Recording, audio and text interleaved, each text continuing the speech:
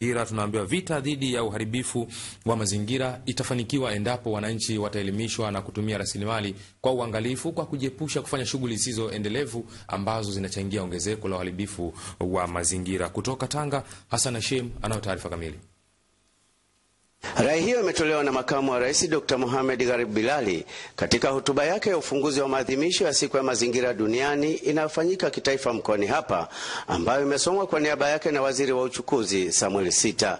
Amesema kuwa matumizi ya rasilimali yasiyoendelevu ikiwemo uvunaji wa misitu, uchimbaji wa madini na uvuvi wa kutumia baruti yasipodhibitiwa katika nchi yetu, kuna hatari ya kutoweka kwa viumbe wengi wa nchi kavu na majini. Uamuzi wa mkoa wa Tanga kukubali kuwa mwenyeji wa maadhimisho haya ulizingatia hali halisi ya mkoa huu kuwa na upoteaji wa bioanuwai unaosababishwa na uharibifu wa mazingira.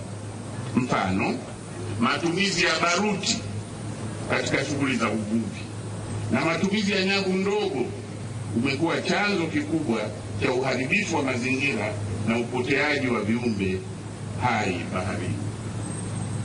Awali akimkaribisha mgeni rasmi waziri wa nchi ya ofisi ya makamu wa rais mazingira Abinelis Mahenge amesema katika maadhimisho ya siku ya mazingira, wizara imekuwa ikihamasisha jamii kuhusu utunzaji wa mazingira katika nyanja mbalimbali kwa kushirikiana na wadau ikiwemo wizara ya afya kuanzia ngazi ya vijiji kupitia halmashauri shughuli zetu na kuepuka uharibifu wa mazingira na rasilimali zake ambazo ni urithi wetu na vizazi vijavyo.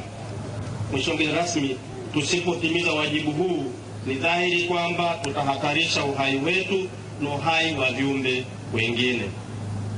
Mkoa unaendelea kuhamasisha viwanda vya mkoa wa Tanga kuacha kutumia nishati ya kuni katika uendeshwaji wa viwanda vyao badala yake watumie nishati mbadala na rafiki kwa mazingira.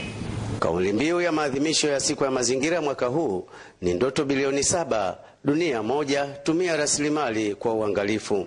Nikiripoti kutoka Tanga ni Hassan Hashim wa Channel 10.